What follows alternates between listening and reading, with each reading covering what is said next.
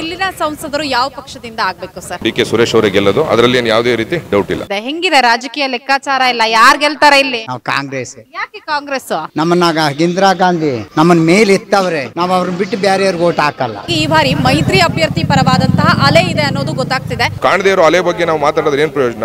ರಾಹುಲ್ ಗಾಂಧಿ ಅವ್ರ ಬಗ್ಗೆ? ರಾಹುಲ್ ಗಾಂಧಿ ನಮ್ಮ ಅವ್ರ ತಾ ಅಜ್ಜಿ ನಮ್ಮನ್ನ ಎತ್ತವ್ರೆ. ರಾಹುಲ್ ಗಾಂಧಿನೂ ನಮ್ಮನ್ನ ಎತ್ತಾರೆ ಅಂತ ನಮಗೆ ಭರವಸೆ. ಮಾತೆತ್ತರು ಮೋದಿ ಮೋದಿ ಮೋದಿ ಏನ್ ಮಾಡಿದ್ದಾರೆ? ಕರ್ನಾಟಕಕ್ಕೆ ಏನು ಇಲ್ಲ ಜೀರೋ ಮಾಡಿದ್ದಾರೆ. ಬಿ ವೈ ವಿಜಯೇಂದ್ರ ಅವ್ರು ಹೇಳ್ತಾರೆ ನಾವೇ ಗೆಲ್ತೀವಿ ಅಂತ. ಹೇಳಕ್ಕೇನು ಕಾಸು ಕೊಡ್ಬೇಕಾ? ಇಲ್ಲ ಇನ್ನು ರಿಸಲ್ಟ್ ಹೇಳಿದೆಲ್ಲ ರಿಸಲ್ಟ್ ಆಗೋಗುತ್ತಾ? ಜೆಡಿಎಸ್ ಜೆ ಡಿ ಎಸ್ನವ್ರಿಗಂತೂ ಮನ ಮರಿದಿಲ್ಲ. ಆರ್ ಎದ್ದೆತ್ತನ್ ಬಲ ಹಿಡಿದ್ರು ಜೆಡಿಎಸ್ ಡಿ ಎಸ್ನವರು ಡಿ ಕೆ ಸುರೇಶ್ ಕೆಲಸ ಮಾಡಿದಾರ ಹೇಗೆ? ಚೆನ್ನಾಗಿ ಮಾಡವ್ರೆ. ನಾವು ಕಾಂಗ್ರೆಸ್ ಬಿಟ್ಟು ಇನ್ನೊಂದ್ ಕಡೆ ಒತ್ತಲ್ಲ ಬೋಟ.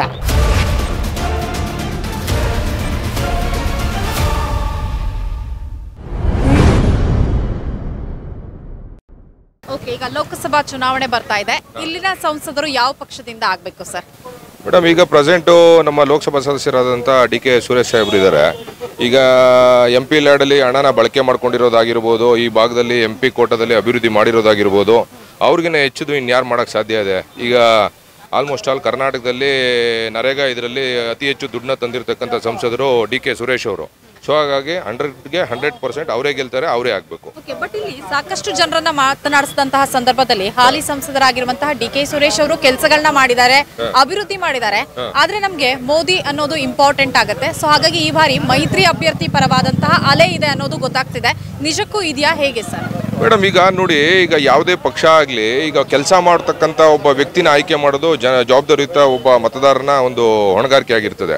ಸೊ ಹಾಗಾಗಿ ಈಗ ಈ ಭಾಗದಲ್ಲಿ ನಾವು ಯಾವೊಬ್ಬ ವ್ಯಕ್ತಿ ಕೆಲಸ ಮಾಡ್ತಾ ಇರ್ತಾರೆ, ಅವ್ರಿಗೆ ಬೆಂಬಲಿಸಬೇಕು ಅನ್ನೋದು ನನ್ನ ಒಂದು ಅಭಿಪ್ರಾಯ. ಸೊ ಹಾಗಾಗಿ ಒಳ್ಳೆ ಕೆಲಸ ಮಾಡೋ ವ್ಯಕ್ತಿನ ಬಿಟ್ಬಿಟ್ಟು ನಾವು, ಇಲ್ಲಿ ನಮ್ಮ ಕ್ಷೇತ್ರದಲ್ಲಿ ಅಭಿವೃದ್ಧಿ, ನಮ್ಮ ಕ್ಷೇತ್ರದಲ್ಲಿ ಡೆವಲಪ್ಮೆಂಟ್ ವರ್ಕ್ ಮಾಡೋರನ್ನ ಬಿಟ್ಟು ನಾವು ಎಲ್ಲೋ ಇರೋ ಅಲೆ ಬಗ್ಗೆ ನಾವು ನಾವು ಕಾಣದೇ ಇರೋ ಅಲೆ ಬಗ್ಗೆ ನಾವು ಮಾತಾಡೋದ್ರೆ ಏನು ಪ್ರಯೋಜನ? ಈಗ ಅವ್ರು ಹೇಳ್ತಾ ಇರೋದು ನಾರ್ತ್ ಇಂಡಿಯಾದಲ್ಲಿ ಆಗಿರ್ತಕ್ಕಂಥ ಡೆವಲಪ್ಮೆಂಟ್ ವರ್ಕ್ನ ಇಟ್ಕೊಂಡು ಬರೀ ಮೋದಿ ಅಂತ ಹೇಳಿದ್ರೆ, ಇಲ್ಲಿರ್ತಕ್ಕಂಥ ಬಿ ಜೆ ಪಿಯಿಂದ ಗೆದ್ದಿರ್ತಕ್ಕಂಥ ಎಷ್ಟೋ ಜನ ಎಂ ಪಿಗಳು ನಾ, ಸದನದಲ್ಲಿ ಒಂದು ಕ್ವಶನ್ ರೈಸ್ ಮಾಡದೇ ಇರೋರು ಸುಮಾರು ಜನ ಇದ್ದಾರೆ, ನಾಲ್ಕು ಜನ ಇದ್ದಾರೆ. ಅವರು ಅವರು ಅದೆಲ್ಲ ಮೋದಿ ಅಲ್ಲೇನ ಅದೆಲ್ಲ ಮೋದಿ ಅಲ್ಲನೇನಾ? ನಾನು ಹೇಳೋದು ಇದಕ್ಕಿಂತ ಹೆಚ್ಚಿನಾಗಿ ಕೆಲಸ ಮಾಡ್ತಕ್ಕಂಥವ್ರು ಯಾರು ಇದ್ರೆ ವ್ಯಕ್ತಿ ಮೇಲೆ ಇದು ಮಾಡಲಿ. ಆದರೆ ಎಂ ಪಿಗಳು ಸೊ ಹಾಗಾಗಿ ನಾನೇನು ಹೇಳ್ತೀನಿ ಅಂತ ಹೇಳಿದ್ರೆ ನೂರಕ್ಕೆ ನೂರು ಪರ್ಸೆಂಟ್ ಈ ಭಾಗದಲ್ಲಿ ಎಂ ಪಿ ಅವರೇ ಈ ಸಲ ಗೆಲ್ಲೋದು ಯಾರು ಡಿ ಕೆ ಸುರೇಶ್ ಅವರೇ ಗೆಲ್ಲೋದು ಅದರಲ್ಲಿ ಏನು ಯಾವುದೇ ರೀತಿ ಡೌಟ್ ಇಲ್ಲ. ಬಟ್ ಕೆಲವರು ಹೇಳ್ತಾ ಇದ್ರು ವ್ಯಕ್ತಿಗಿಂತ ಅಥವಾ ಅಭ್ಯರ್ಥಿಗಿಂತ ಪಕ್ಷ ಮುಖ್ಯ ಆಗತ್ತೆ ಅಂತ. ಬಟ್ ಚುನಾವಣೆಯಲ್ಲಿ ಯಾವ್ದು ಮುಖ್ಯ ಸರ್ ಮೇಡಮ್, ಈಗ ನಾನು ಹೇಳ್ತಕ್ಕಂಥದ್ದು ನೋಡಿ, ಈಗ ಪ್ರೆಸೆಂಟ್ ಈಗ ಕರ್ನಾಟಕದಲ್ಲಿ ಈಗ ಕಾಂಗ್ರೆಸ್ ಗೌರ್ಮೆಂಟ್ ಏನು ಬಂದಿದೆ ಐದಕ್ಕೆ ಐದು ಗ್ಯಾರಂಟಿ ಕೊಟ್ಟು ಬಡವರ ಬಗ್ಗೆ ಮತ್ತೆ ಶೋಷಿತರ ಬಗ್ಗೆ ಏನು ಒಂದು ಕಾಳಜಿ ತೋರಿಸಿದೆ ಸೊ ಅದನ್ನೆಲ್ಲ ಗಮನದಲ್ಲಿ ಇಟ್ಕೊಂಡು ಈ ಸಲ ಮತದಾರರು ಓಟ್ ಹಾಕ್ತಾರೆ ಅನ್ನೋದು ನಮ್ಮ ಒಂದು ಅಭಿಪ್ರಾಯ ಮೇಡಮ್. ಓಕೆ ಈಗ ಮೈತ್ರಿ ಅಭ್ಯರ್ಥಿಯಾಗಿ ಸಿ ಪಿ ಯೋಗೇಶ್ವರ್ ಅವರು ಕಣಕ್ಕಿಳಿಯುವಂತಹ ಸಾಧ್ಯತೆ ಹೆಚ್ಚಿದೆ ಎನ್ನಲಾಗ್ತಾ ಇದೆ. ಹೇಗೆ ಕಾಂಪಿಟೇಷನ್ಸ್ ಇರುತ್ತಾ ಹೇಗೆ ಸರ್?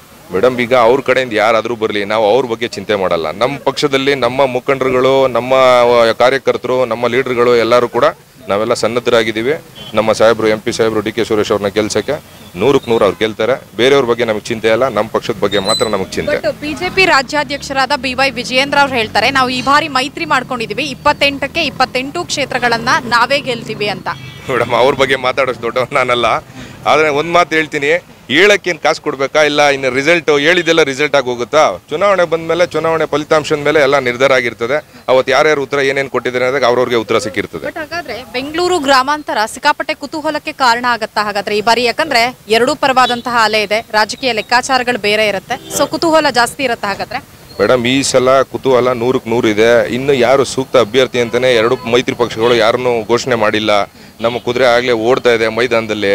ಅದನ್ನ ಯಾರು ಕಟ್ಟಾಕೋರಿಲ್ಲ ಕಟ್ಟಾಕೋರಿದ್ರೆ ಯಾರು ಕಟ್ಟಾಕೊಳ್ಳಿ. ಸರ್ ಈಗ ಇಪ್ಪತ್ತೆಂಟು ಕ್ಷೇತ್ರ ಇದೆ. ಮೈತ್ರಿ ಅವರು ಎಷ್ಟು ವಿನ್ ಆಗ್ಬೋದು? ಹಾಗಾದ್ರೆ ನಿಮ್ಮ ಕಾಂಗ್ರೆಸ್ಗೆ ಎಷ್ಟು ಬರ್ಬೋದು ಸರ್? ನಾನು ಅದನ್ನ ಸುಮ್ಮನೆ ನೀವೇನೋ ಮೈಗಿಡ್ಕೊಂಡಿದ್ದೀನಿ ಅಂತ ನಾನು ಹೇಳೋಕ್ಕಾಗಲ್ಲ. ಆ ಭಾಗದಲ್ಲಿ ಯಾವ್ಯಾವ ಕ್ಯಾಂಡಿಡೇಟ್ ಏನೇನು ಕೆಲಸ ಮಾಡಿದ್ದಾರೆ ಆ ಇದ್ರ ಮೇಲೆ ವ್ಯಕ್ತಿಗತವಾಗಿ ಹೋಗುತ್ತೆ. ಈ ಅಲೆ ಗಿಲೆ ಅನ್ನೋದೆಲ್ಲ ಈಗ ಯಾಕಂದ್ರೆ ಎರಡ್ ಸಾವಿರದ ಹತ್ತೊಂಬತ್ತರಲ್ಲಿ ಕೇವಲ ಒಂದು ಸೀಟು ಕಾಂಗ್ರೆಸ್ಗೆ ಬಂದಿತ್ತು. ಅದು ಬೆಂಗಳೂರು ಗ್ರಾಮಾಂತರದಲ್ಲಿ. ಸೊ ಹಾಗಾಗಿ ಈ ಬಾರಿ ಕಾಂಗ್ರೆಸ್ ಅಲೆ ಇದೆ ಅಂತ ಹೇಳ್ತೀರಾ ರಾಜ್ಯದಲ್ಲಿ? ಯಾಕಂದ್ರೆ ಸ್ಟೇಟ್ ಅಲ್ಲಿ ಕಾಂಗ್ರೆಸ್ ಗೌರ್ಮೆಂಟ್ ಇದೆ. ಮೇಡಮ್, ಈಗ ಹತ್ತು ವರ್ಷ ಆಯಿತು, ಈಗ ಒಂದು ಟರ್ಮ್ ಆದಾಗ ಏನು ಮಾಡೋಕ್ಕಾಗುತ್ತೆ, ಏನು ಅಭಿವೃದ್ಧಿ ಮಾಡೋಕ್ಕಾಗುತ್ತೆ, ಎಪ್ಪತ್ತು ವರ್ಷ ಆಳಿದ್ದಾರೆ ಕಾಂಗ್ರೆಸ್ಸು ಹಾಗೆ ಹೀಗೆ ಅಂತ ಇದ್ರು. ಈಗ ಅವ್ರಿಗೆ ಎರಡನೇ ಬಾರಿನೂ ಜನ ಅವಕಾಶ ಕೊಟ್ಟಿದ್ರು. ಈ ಸಲ ಕಾಂಗ್ರೆಸ್ಗೆ ನಮ್ಮ ಕರ್ನಾಟಕದಲ್ಲಿ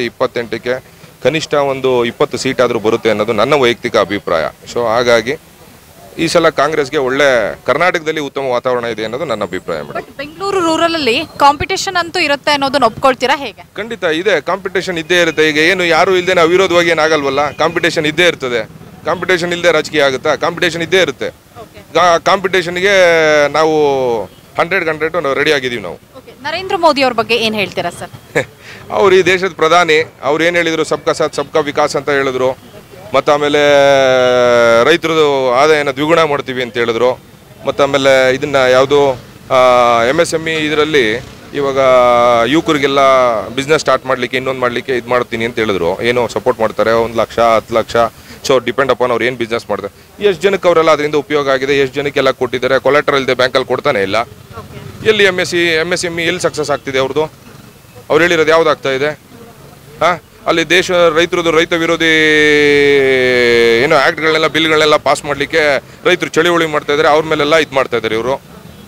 ಸೊ ಹಂಗಾಗಿ ನಾನೇನು ಹೇಳ್ತೀನಿ ಅಂತ ಹೇಳಿದ್ರೆ, ಸುಳ್ಳು ಯಾವತ್ತಿದ್ರೂ ಒಂದಿನ ಸತ್ಯ ಹೊರಗೆ ಬರಲೇಬೇಕಲ್ಲ ಮೇಡಮ್ ಇವಾಗ ಅದೆಲ್ಲ ತಾತ್ಕಾಲಿಕ ಅದು. ಜಾಸ್ತಿ ದಿನ ನಡೆಯಲ್ಲ. ಯಾವತ್ತಾರು ಒಂದು ದಿವಸ ಜನಕ್ಕೆ ಸತ್ಯ ಗೊತ್ತಾಗುತ್ತೆ, ಬದಲಾವಣೆ ಆಗೇ ಆಗುತ್ತೆ. ಕಾಂಗ್ರೆಸ್ ಮತ್ತೆ ದೇಶದ ಶಕ್ತಿ ಅನ್ನೋದು ಗೊತ್ತಾಗುತ್ತೆ. ಓಕೆ ರಾಹುಲ್ ಗಾಂಧಿ ಅವ್ರ ಬಗ್ಗೆ ಏನ್ ಹೇಳ್ತೀರಾ ಸರ್? ಅವರು ನಮ್ಮ ಪಕ್ಷದ ಅಧಿನಾಯಕರು ಮಲ್ಲಿಕಾರ್ಜುನ್ ಖರ್ಗೆ ಸಾಹೇಬ್ರವರ ನೇತೃತ್ವದಲ್ಲಿ ಅವರು ಈಗ ನ್ಯಾಯ ನ್ಯಾಯಯುತ ಹೋರಾಟದಲ್ಲಿ ಅವರು ಇವಾಗ ಮಾಮೂಲಿ ಪಾದಯಾತ್ರೆ ಮಾಡ್ತಾ ಇದ್ದಾರೆ. ಸೊ ಈ ಸಲ ಅವರಿಗೆ ಎಲ್ಲ ಉತ್ತಮ ವಾತಾವರಣ ಇದೆ. ಕರ್ನಾಟಕದಿಂದ ಕರ್ನಾಟಕದಿಂದ ನಮ್ಮಲ್ಲಂತೂ ಈ ಸಲ ಒಳ್ಳೆ ಫಲಿತಾಂಶ ಬರುತ್ತೆ ಅನ್ನೋದು ನನ್ನ ಅಭಿಪ್ರಾಯ okay sir thank you sir ತಮ್ಮ ಹೆಸರು? ತಮ್ಮ ಹೆಸರು ಕೆ ಸಿ ವೆಂಕಟೇಶ್ ಕೆಂಚನಕುಪ್ಪೆ ಅಂತ. ಓಕೆ. ಸರ್, ಹೇಗಿದೆ ಸರ್ ಬಿಡದಿಯಲ್ಲಿ ರಾಜಕೀಯ ಲೆಕ್ಕಾಚಾರ? ಯಾಕಂದ್ರೆ ಇದು ಬೆಂಗಳೂರು ರೂರಲ್ಗೆ ಬರುತ್ತೆ. ಸೊ ಹೇಗಿದೆ ರಾಜಕೀಯ? ಟಫ್ ಕಾಂಪಿಟೇಷನ್ ನಡೀತಾ ಇದೆಯಾ ಹೇಗೆ? ಏನು ಟಫ್ ಕಾಂಪಿಟೇಷನ್ ಏನಿಲ್ಲ. ಯಾರೇ ಮಿಂಗಲ್ ಆಗಿ ಬಿ ಜೆ ಪಿಯವರು ಜೆ ಡಿ ಎಸ್ನವರು ಯಾರೇ ಕ್ಯಾಂಡಿಡೇಟ್ ಹಾಕೋದು, ಗೆಲ್ಲೋದೇ ಡಿ ಕೆ ಸುರೇಶ್ ಅವರು.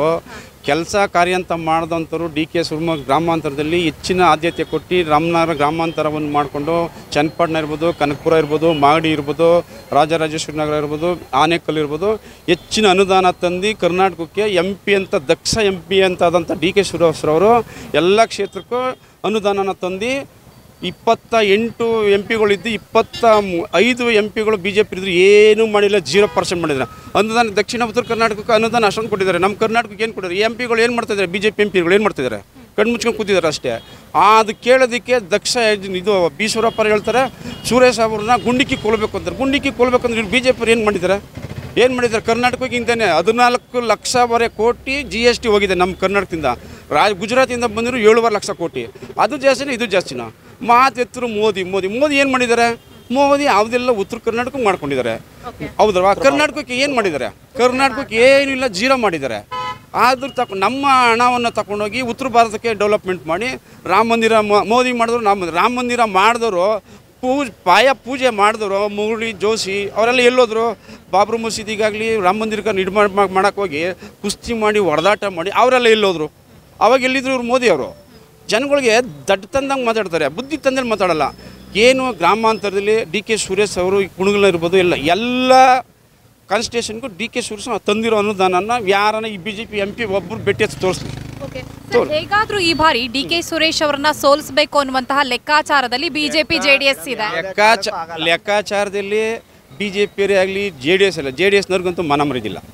ಯಾವ ಪಕ್ಷಕ್ಕೂ ಅವ್ರು ಜೋ ಓದಿ ಹೋದ ಸರಿ ಎಂ ಪಿಲಿ ಕಾಂಗ್ರೆಸ್ ಸೇರ್ಕೊಂಡ್ರು, ಈ ಸರಿ ಬಿ ಜೆ ಪಿ ಸೇರ್ಕೊಂಡ್ರು. ಆರು ಎದ್ದೆತ್ತನ ಬಲ ಹಿಡಿದ್ರು ಜೆ ಡಿ ಎಸ್ನವರು ಅವ್ರು ಎಲ್ಲಿ ಸೇರಿಕೊಂಡ್ರು ಯಾವುದೇ ಕಾರಣಕ್ಕೂ ಸುರೇಶ್ನವ್ರನ್ನ ಸೋಲ್ಸೋಕ್ಕಾಗಲ್ಲ. ಸುಲೋ ಸುರೇಶ್ ಅವರೇ ಗೆಲ್ಲೋದು, ನಮ್ಮ ಎಂ ಪಿಯವರೇ ಗೆಲ್ಲೋದು. ಹೆಚ್ಚಿನ ಆದ್ಯತೆ ನಮ್ಮ Magadi M L A Balakrishna ಅವರು, ಕುಣಗುಲ್ ರಂಗನಾಥ್ ಅವರು, ಚ ನಮ್ಮ ಇಕ್ಬಲ್ ಹುಸೇನ್ ಅವರು, ನಮ್ಮ ಕಾನ್ಸ್ಟಿಟ್ಯೂಷನಲ್ಲಿ ಎಲ್ಲರೂ ಎಂ ಎಲ್ ಎಗಳಿಂದ ಡಿ ಕೆ ಸುರೇಶ್ ಅವ್ರನ್ನ ಯಾರು ಸೋಲ್ಸಕ್ಕಾಗಲ್ಲ ಮೇಡಮ್ ಓಕೆ ಸಿಪಿ ಯೋಗೇಶ್ವರ್ ಹೆಸರು ಕೇಳಿ ಬರ್ತಾ ಇದೆ. ಮೈತ್ರಿ ಅಭ್ಯರ್ಥಿಯಾಗಿ ಹೇಗೆ ಕಾಂಪಿಟೇಷನ್ ಕೊಡ್ತಾರಾ? ಟಫ್ ಕಾಂಪಿಟೇಷನ್ ಇಬ್ಬರಲ್ಲೂ ಇರುತ್ತಾ? ಯೋಗೇಶ್ವರೇ ನಿಂತ್ಕೊಳ್ಳಿ ಕುಮಾರಸ್ವಾಮಿಯರೇ ನಿಂತ್ಕೊಳ್ಳಿ ಯಾರು ನಿಂತ್ಕೊಂಡ್ರು ಗೆಲ್ಲೋದೇ ಸುರೇಶ್ ಕುಮಾರ್ ಡಿ ಕೆ ಸುರೇಶ್. ತಂದಿದ್ದಾರೆ ಕೆಲಸ ಮಾಡಿದ್ದಾರೆ ಅವರು. ಕೆಲಸದ ನೋಡಿ ಜನ ನೋಡ್ತಾರೆ. ಕೆಲಸ ಮಾಡಿದ್ರೆ ಏನು ಮಾಡ್ತಾರೆ? ಈಗ ಕುಮಾರಸ್ವಾಮಿಯವರು ಎರಡು ಬಾರಿ ಮುಖ್ಯಮಂತ್ರಿ ಆದರು. ಗ್ರಾಮಾಂತರನ ಬೆಂಗಳೂರನ್ನ ಡಿ ಮಾಡಿಬಿಟ್ರು. ಅದೇ ಅಲ್ಲಿ ಬಿಲ್ಡಿಂಗ್ ಕಟ್ಬಿಟ್ರು ನೋಡ್ಕೊಳ್ಳಿ ಜನ ಅಂತ ಮಾಡಿದ್ರು. ಏನು ಮಾಡಿದ್ದಾರೆ? ಏನೂ ಇಲ್ಲ ಜೀರೋ ಮಾಡಿದ್ದಾರೆ. ಬಿ ಜೆ ಪಿರು ಜೀರೋ ಜೆ ಡಿ ಎಸ್ನವರು ಜೀರೋ. ಕೆಲಸ ಮಾಡಿರೋದು ಡಿ ಕೆ ಸುರೇಶ್ ಬಾಲಕೃಷ್ಣ ಅವರು. ನಮ್ಮ ನರೇಂದ್ರ ಮೋದಿ ಅವ್ರ ಬಗ್ಗೆ ಏನು ಹೇಳ್ತೀರಾ ನರೇಂದ್ರ ಮೋದಿ ಅದೇ ಮೋದಿ ಮೋದಿ ಅನ್ಕೊಂಡು ಅವ್ರಿಗೆ ಜಪ ಮಾಡ್ಕೊಬೇಕಷ್ಟೇ. ಯಾವುದೋ ಗುಹೆಲ್ಲೋ ಕೂತಿದ್ರಲ್ಲ ಮೋದಿ ಅವರು ಅದೇ ಜಪ ಮಾಡ್ಕೊಬೇಕಷ್ಟೇ. ರಾಮ ಮಂದಿರ ಕಟ್ಟಿದೆ ಕಟ್ಟಿದೆ ಅಂದ್ರೆ ನಾನು ಜನಗಳದ್ದು ಟ್ರಸ್ಟಿಂದ ರಾಮ ಮಂದಿರ ಕಟ್ಟಿರೋದು ಮೇಡಮ್. ಟ್ರಸ್ಟ್ ಮಾಡಿಕೊಂಡು ಎಲ್ಲೆಲ್ಲಿಂದ ಫಂಡ್ ಬಂದಿರೋದು ಸರ್ಕಾರ ಏನು ಮಾಡೋದು? ಸರ್ಕಾರದಲ್ಲಿ ಇದ್ದಿತ್ತು ಇವರು ಅಧಿಕಾರ ಇರೋದು ಅಂತ ಮಾಡಿದ್ರು. ರಾಮ ಮಂದಿರಕ್ಕೋಸ್ಕರ ದುಡ್ದಂಥ ವ್ಯಕ್ತಿಗಳನ್ನ ಬಿಟ್ಬಿಟ್ಟು ನೀವು ಮಾಡಿದಿರ ಫಸ್ಟ್ ರಾಮ ಮಂದಿರ ಬಾಬರಿ ಮಸೀದಿ ಧ್ವಂಸ ಮಾಡಿದಾಗ ಲಲ್ಲು ಕೃಷ್ಣ ಅಡ್ವಾಣಿ ಮುರಳೀಧರ್ ಜೋಶಿ ಅವರು ಹೊಡೆದಾಟ ಮಾಡ್ಕೊಂಡು ಆ ಪಕ್ಷ ಹಿಂದೂ ಮುಸ್ಲಿಂ ಗಲಾಟೆ ಅಂದಾಗ ಮಾಡಿದ್ದಕ್ಕೆ ಅವ್ರ ಪ್ರತಿಫಲನೇ ಇಲ್ಲ. ಇವ್ರು ಎತ್ಕೊಂಡು ನಾನು ಬಿ ಜೆ ಪಿ ಕಟ್ತೆ ನಾನು ರಾಮ ಮಂದಿರ ಕಟ್ತೀನಿ. ಜೈ ಶ್ರೀರಾಮ ಜೈ ಮೋದಿ. ಜೈ ಶ್ರೀರಾಮ ಜೈ ಮೋದಿ. ಅದೇನು ಮ- ಜನಗಳಿಗೆ ಮಾನ ಮರ್ಯಾದೆ ಮೋದಿ ಹೆಸರು ಹೇಳ್ತಾರೆ ಓಕೆ ರಾಹುಲ್ ಗಾಂಧಿ ಅವ್ರ ಬಗ್ಗೆ ಏನು ಹೇಳ್ತೀರಾ? ಅವರು ದೇಶಕ್ಕೋಸ್ಕರ ಜೋಡ ಯಾತ್ರೆ ಮಾಡ್ತಾ ಇದ್ದಾರೆ ಆದ್ರೂ ಕಿತಾಪತಿ ಮಾಡ್ತಾ ಇದ್ದಾರೆ. ಈ ಬಿಜೆಪಿಗೆ ಮರಿದಿಲ್ಲ ಮಾನ ಮರ್ಯಾದಿಲ್ಲ ಸರ್ ಈಗ ಎಷ್ಟು ಸೀಟ್ ಬರ್ಬೋದು ಹಾಗಾದ್ರೆ? ಇಪ್ಪತ್ತೆಂಟರಲ್ಲಿ ಕಾಂಗ್ರೆಸ್ ಅವ್ರು ಎಷ್ಟು ವಿನ್ ಆಗ್ಬೋದು? ಹದಿನೈದರಿಂದ ಇಪ್ಪತ್ತು ಸೀಟು ಕಾಂಗ್ರೆಸ್ ಗೆಲ್ತದೆ ಮೇಡಮ್ ಬಟ್ ಈಗ ಎರಡ್ ಸಾವಿರದ ಹತ್ತೊಂಬತ್ತರ ಲೋಕಸಭಾ ಚುನಾವಣೆಯನ್ನ ತೆಗೆದುಕೊಂಡ್ರೆ ಕೇವಲ ಒಂದು ಸೀಟು ಕಾಂಗ್ರೆಸ್ಗೆ ಬಂದಿತ್ತು. ಹೌದು ಇದು ಅಲ್ಲಿ ಆ ಬೇರೆ ಈ ತರ ಇತ್ತು. ಈ ಸರಿ ಹದಿನೆಂಟರಿಂದ ಹದಿನೈದರಿಂದ ಹದಿನೆಂಟು ಸೀಟು ಎಂ ಪಿ ಗೆಲ್ತಾರೆ ಕಾಂಗ್ರೆಸ್. ಅಂದ್ರೆ ಕರ್ನಾಟಕದಲ್ಲಿ ಕಾಂಗ್ರೆಸ್ ಅಲೆ ಇದೆಯಾ? ಕರ್ನಾಟಕದಲ್ಲಿ ಕಾಂಗ್ರೆಸ್ ಅಲ್ಲಿದೆ ಇಷ್ಟಿಲ್ದೆ ನೂರ ಮೂವತ್ತಾರು ಸೀಟ್ಗೆ ಜನಗಳು ತೀರ್ಮಾನ ಮಾಡಿದ್ರ? ಓಕೆ ಈಗ ಸ್ಟೇಟ್ ಅಂತ ಬಂದಾಗ ಒಂದ್ ಲೆಕ್ಕಾಚಾರ ಆಗತ್ತೆ ಸೆಂಟ್ರಲ್ ಅಂತ ಬಂದಾಗ ಒಂದ್ ಲೆಕ್ಕಾಚಾರ ಆಗತ್ತೆ. ಸೊ ಹಾಗಾಗಿ. ಸ್ಟೇಟು ಬಂದಾಗೆ ಒಂದು ಲೆಕ್ಕಾಚಾರ ಅಲ್ಲ ಸೆಂಟ್ರಲ್ ಬಂದ ಏನು ಸ್ಟೇಟಲ್ಲಿ ಸರ್ಕಾರ ಯಾವುದಿದ್ದು ಅದ್ರ ಮೇಲೆ ರೂಲಿಂಗ್ ಇರ್ತೈತೆ ಅಷ್ಟೇ. ಈಗ ಹೋದ ಸರಿ ಬಿ ಜೆ ಪಿ ಅಧಿಕಾರ ಇತ್ತು ಬಿ ಜೆ ಪಿ ಕ್ಯಾಂಡಿಡೇಟ್ ಗೆದ್ರು? ಈ ಸರಿ ಕಾಂಗ್ರೆಸ್ ಎಂ ಎಲ್ ಎ ಇದೆ ನೂರ ಮೂವತ್ತಾರು ಪ್ಲಸ್ ಮೂರು ನಾಲ್ಕು ನೂರ ಮೂವತ್ತೆಂಟು ಇದೆ ಕಾಂಗ್ರೆಸ್ ಹದಿನೈದರಿಂದ ಇಪ್ಪತ್ತು ಸೀಟ್ ಗೆಲ್ತದೆ ಎಂ ಪಿ. ಸಲ ಬದಲ ಬದಲಾವಣೆ ಕಾಣ್ಬೋದು ಮೇಡಮ್. ಯಾಕೆ ಅಂದರೆ ಈ ಫ್ರೀ ಸ್ಕೀಮ್ಸ್ ಎಲ್ಲ ಏನು ಕೊಟ್ಟರು ಗೌರ್ಮೆಂಟು ತುಂಬ ಜನಕ್ಕೆ ಯೂಸ್ ಆಗಿದೆ. ಹೆಣ್ಮಕ್ಳುಗಳನ್ನ ಕೇಳಿ ನೋಡಿ. ಅವ್ರ ಮನೇಲಿ ಆದಂಥ ಚೇಂಜಸ್ ಆಗಲಿ ಮತ್ತೊಂದಾಗಲಿ ಅದು ಪರಿಣಾಮಕಾರಿಗೆ ಬಂದಿದೆ. ಅದಕ್ಕೋಸ್ಕರ ಈ ಸಲ ಚೇಂಜಸ್ ನೋಡ್ಬೋದು ನಾವು ಈ ಸಲ. ತಮ್ಮ ಹೆಸರು ಸರ್? ಶ್ರೀಕಾಂತ್ ಅಂತ. ಬಟ್ ಈಗ ನೀವು ಉಚಿತ ಗ್ಯಾರಂಟಿ ಬಗ್ಗೆ ಹೇಳ್ತಾ ಇದ್ರಿ ಲೇಡೀಸ್ಗೆಲ್ಲ ಹೆಲ್ಪ್ ಆಗಿದೆ ಅಂತ. ಬಿಜೆಪಿಯವರು ಒಂದು ಆರೋಪ ಮಾಡ್ತಾರೆ. ಸೊ ಜನರನ್ನ ಎಲ್ಲ ಫ್ರೀಯಾಗಿ ಆಗಿ ಕೊಟ್ಟು ಕೊಟ್ಟು ಸೋಮಾರಿ ಮಾಡ್ತಿದ್ದಾರೆ ಅಂತ. ಮೇಡಮ್ ಅದಕ್ಕೆ ಯಾವ ದೃಷ್ಟಿಯಿಂದ ಹೇಳ್ತಾರೆ ಗೊತ್ತಾ? ಸೆಂಟ್ರಲ್ಲೂ ಕೊಡ್ತಾ ಇದಾರಲ್ಲ ಫ್ರೀ ಸ್ಕೀಮ್ಸು ಬೇರೆ ಸ್ಟೇಟ್ಸಲ್ಲೂ ಕೊಡ್ತಾ ಇದಾರಲ್ಲ? ಅದೇ ಕಾಣಲ್ಲ ಅವರಿಗೆ.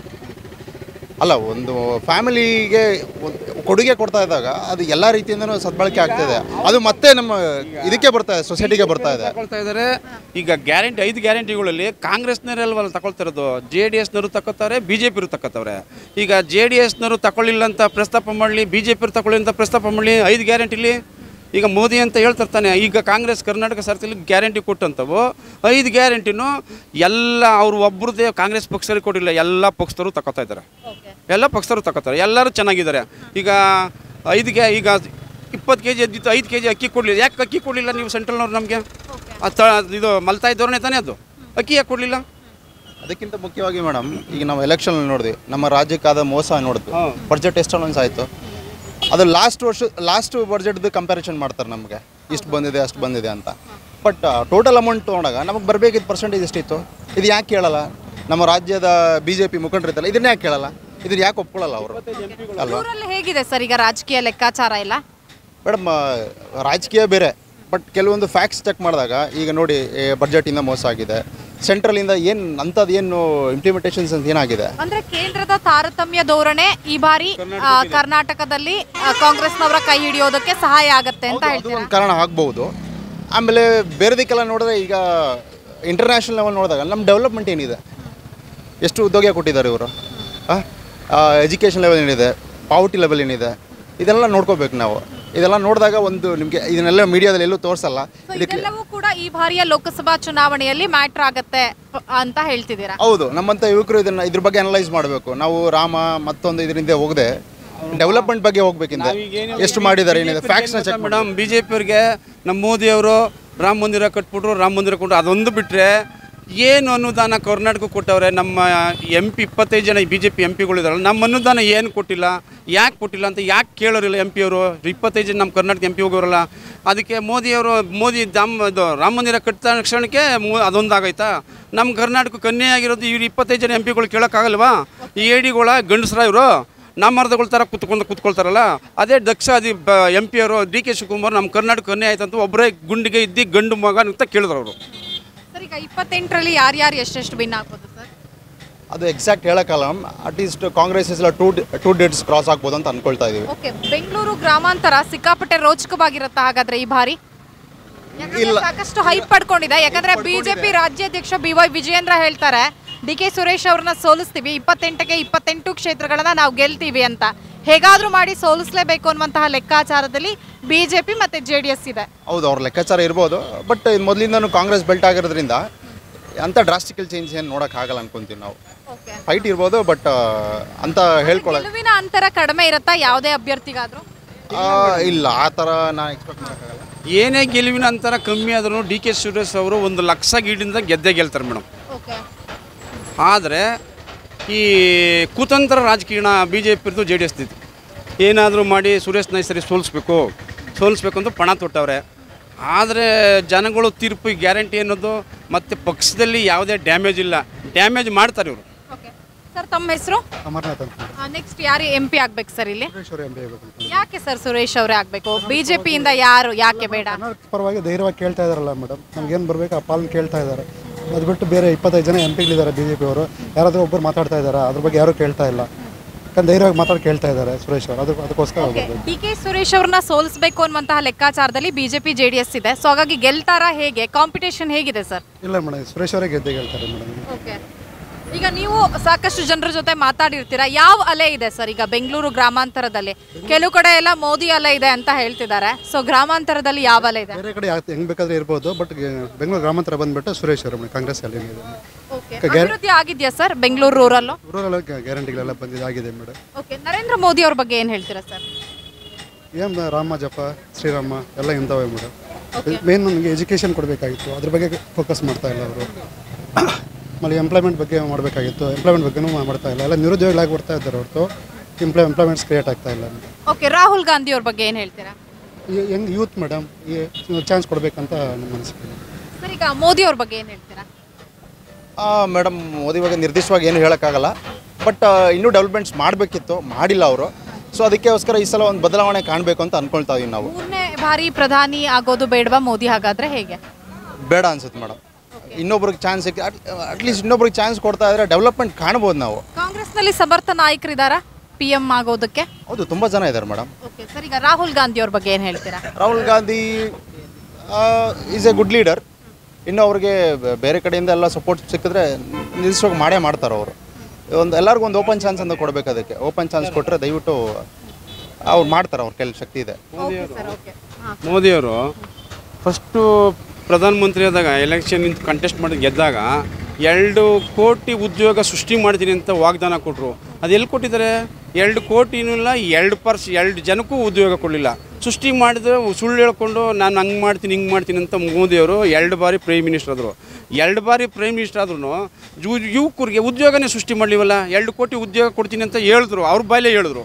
ಒಬ್ರಿಗಾದ್ರೂ ಒಂದು ಉದ್ಯೋಗ ಕೊಟ್ಟವ್ರ? ಒಂದು ಇದರಲ್ಲಿ?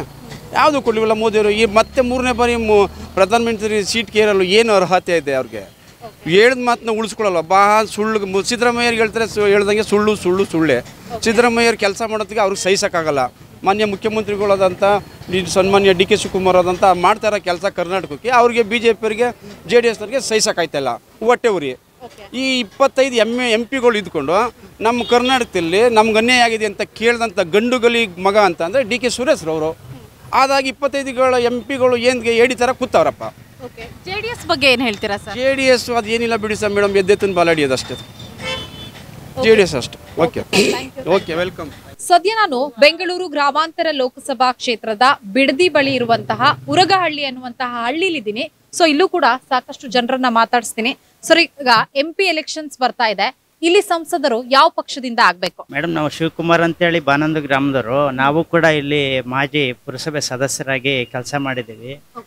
ಸೊ ಇತ್ತೀಚಿನ ದಿನಗಳಲ್ಲಿ ಬರ್ತಾ ಇರ್ತಕ್ಕಂಥ ವಿಚಾರಗಳ ಪ್ರಕಾರ ಈ ಒಂದು ಬೆಂಗಳೂರು ಗ್ರಾಮಾಂತರ ಜಿಲ್ಲೆ ಬೆಂಗಳೂರು ಗ್ರೇಟರ್ ಬೆಂಗಳೂರು ಮತ್ತು ಇನ್ನೊಂದು ಟೌನ್ಶಿಪ್ ಆಗಿರೋ ನಿಟ್ಟಿನಲ್ಲಿ ಇವತ್ತು ಕೇಂದ್ರ ಭಾಗದಲ್ಲಿ ಬಿ ಜೆ ಪಿ ಇರೋದ್ರಿಂದ ಈ ಒಂದು ಮೊನ್ನೆ ಬಂದಂಥ ನ್ಯೂಸ್ ಪ್ರಕಾರ ನಮ್ಮ ಏನು ವೈದ್ಯಾಧಿಕಾರಿ ನಮ್ಮ ಮಂಜುನಾಥ್ ಸರ್ ಅವರು ಏನು ರಿಟೈರ್ಡ್ ಆಗಿದ್ದಾರೆ.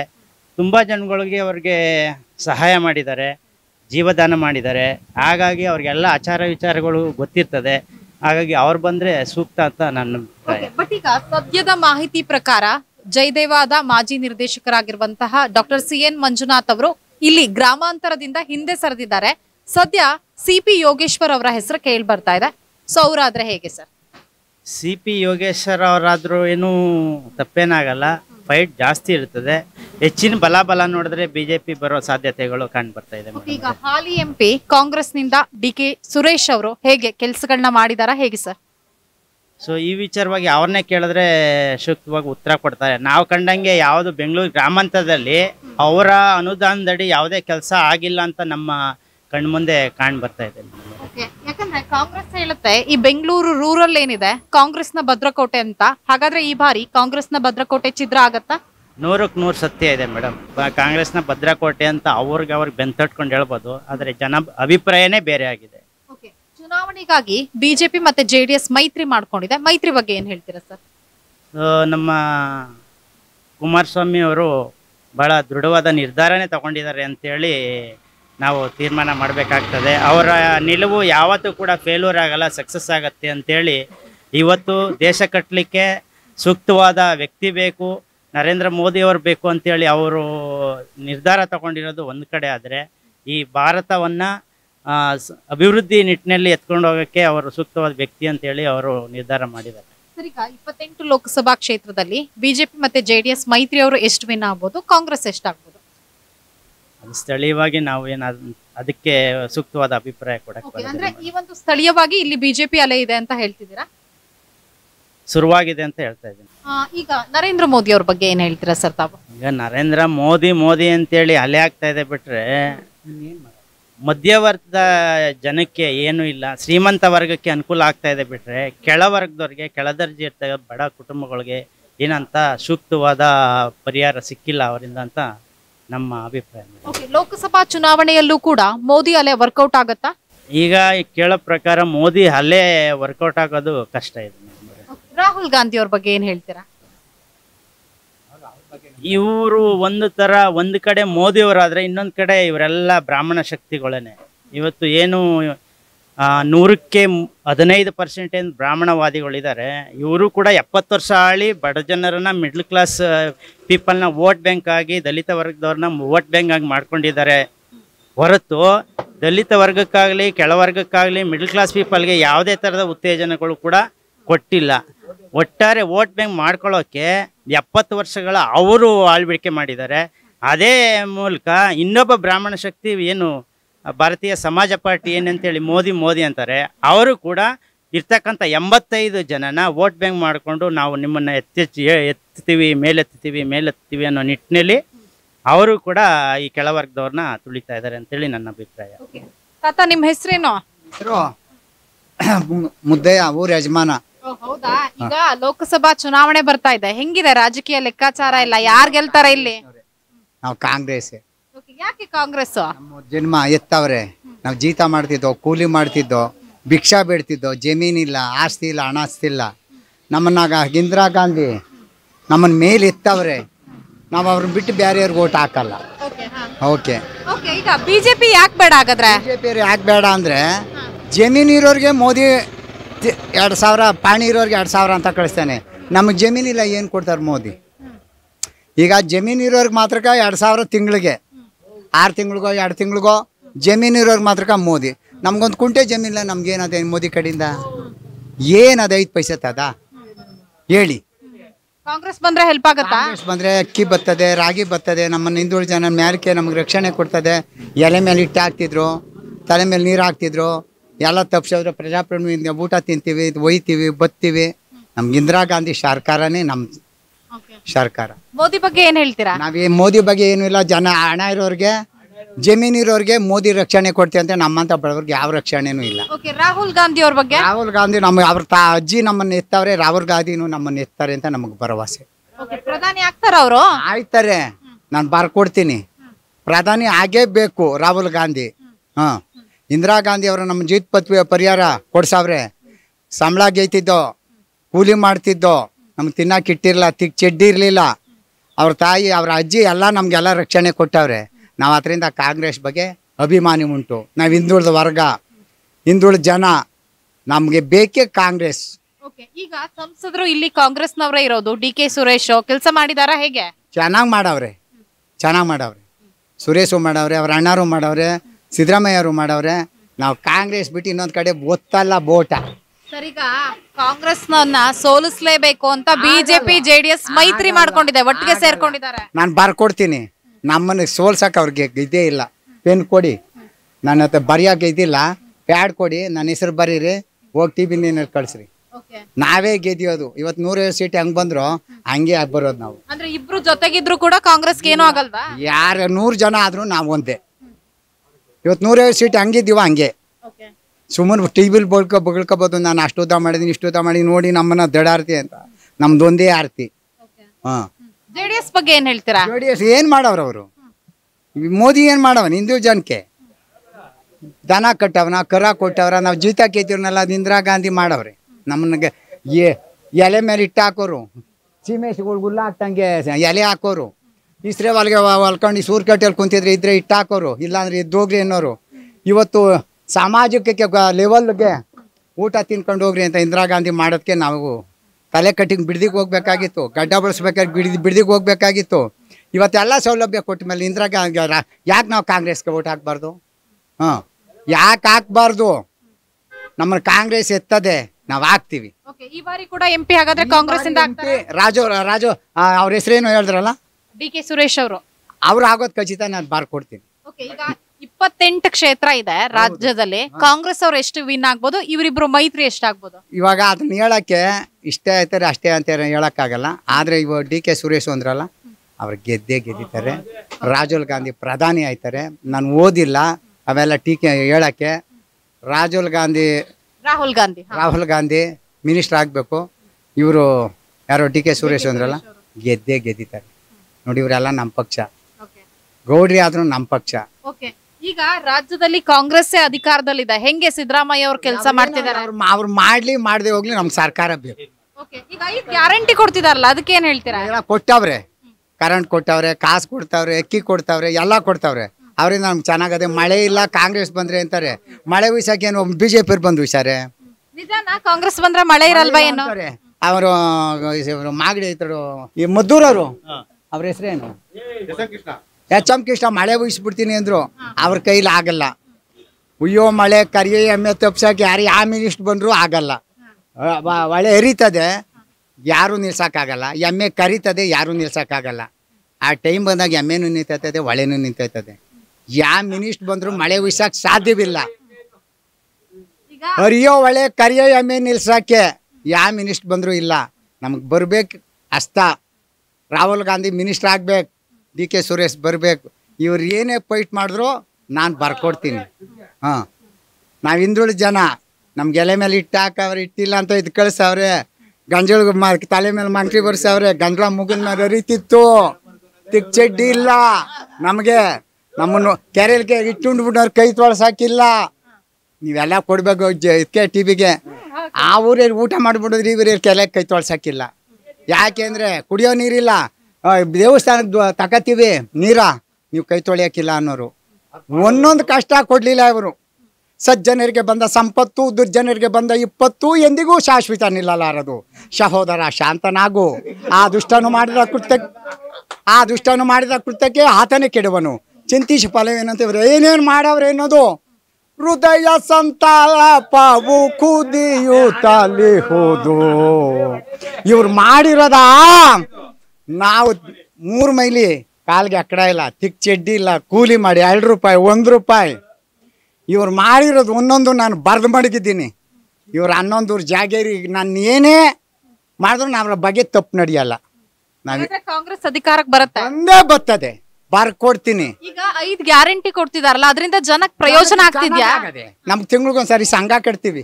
ಎರಡು ಸಾವಿರ ಈಗ ಬಿಜೆಪಿ ಅವ್ರು ಹೇಳ್ತಾರೆ ಈ ತರ ಜನಕ್ಕೆಲ್ಲ ಫ್ರೀ ಆಗಿ ಕೊಟ್ಬಿಟ್ರೆ ಜನರು ಸೋಮಾರಿ ಆಗ್ತಾರೆ ಸೋಂಬೇರಿ ಆಗ್ತಾರೆ ಕೆಲಸ ಮಾಡಲ್ಲ ಅವ್ರೇನ್ ಕೊಟ್ಟವ್ರೆ? ನೋಡಿ ಇಂಥ ಆಸ್ತಿರ್ಗೆ ಹಣ ಕೊಡ್ತಾರೆ. ಬಿಜೆಪಿಯವರು ಇಂತ ಆಸ್ತಿ ಮಾಡ್ಕವ್ರ ಅವ್ರಿಗೆ ತಿಂಗಳಿಗೆ ಹತ್ತು ಎಕರೆ ಐತ್ರಿ ಇಪ್ಪತ್ತು ಐದು ಸಾವಿರ ಹತ್ತು ಸಾವಿರ ದುಡ್ಡು ಐತದೆ. ನಮ್ಗೊಂದು ಕುಂಟೆ ಜಮೀನು ಏನು ಬರ್ತದೆ ಬಿ ಜೆ ಪಿನ ಏನು ಮಾಡವನೆ? ಏನ್ ನಮ್ಮ ಕುಂಟೆಲಿ ಒಂದು ನಮ್ಮ ನಮ್ಮ ಹೆಸರಲ್ಲಿ ಒಂದು ಕುಂಟೆಲಿ ಏನು ನಮಗೆ? ಇರ್ರಿ. ರೇ ಚೇರ್ಮನ್ ಇರ್ರಿ.